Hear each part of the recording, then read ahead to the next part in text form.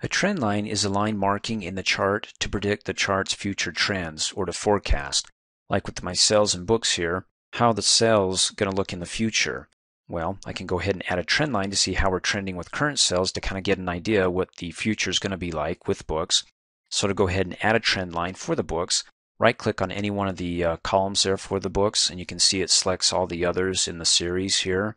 Then in the shortcut menu, go ahead and click on add trend line. Adds it here, but brings up the task pane so you can change the trend line options from the default linear to maybe logarithmic.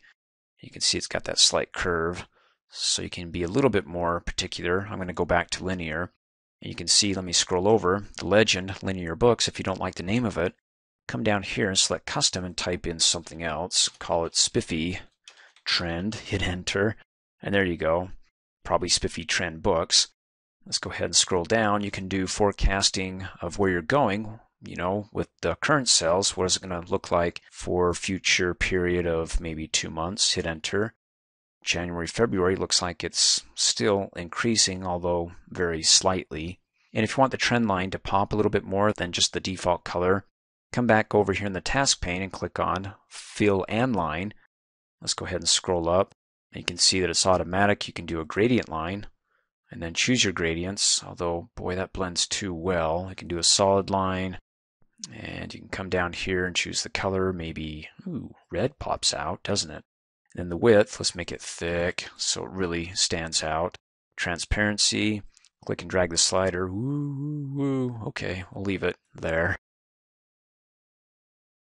Let's see, you've got the begin arrow. You can have it going from the end point here, which gives it a circle. You can see the end point to the end arrow. Let's do the arrow there and updates so it gives you an idea of what you're looking at in the legend here from point A to B and then to go ahead and remove it with it selected, hit the delete key and it's gone. Let me go ahead and undo that. Come back up here on the Format tab, and if I click off and, and I got that thin trend line that I initially put in before I formatted it, and I'm trying to click on it to select it, I'm like, darn it, how can I select it?